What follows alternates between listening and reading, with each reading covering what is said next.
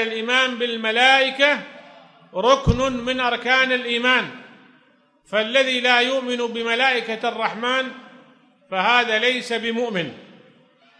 إطلاقا لكثرة ما جاء من ذكرهم في القرآن وفي السنة إلى غير ذلك.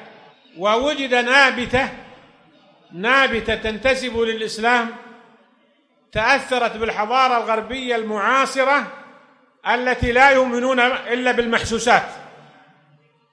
فإذا قلت لهم الملائكة والجن ونحو ذلك قالوا ما نراهم ما نحسهم ما نسمعهم فهم لا يؤمنون بها.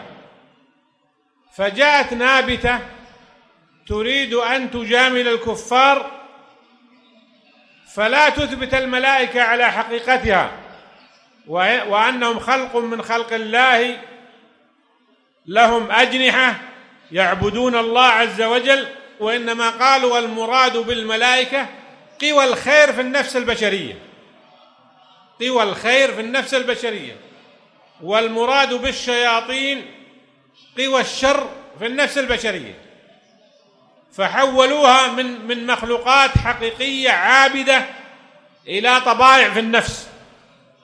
وهذا في الحقيقة إنكار. كل هذا هروب من أن يثبتوا مخلوقات ولا يراها الغربيون ولا يقيسونها في المعامل ولا بالتجربة.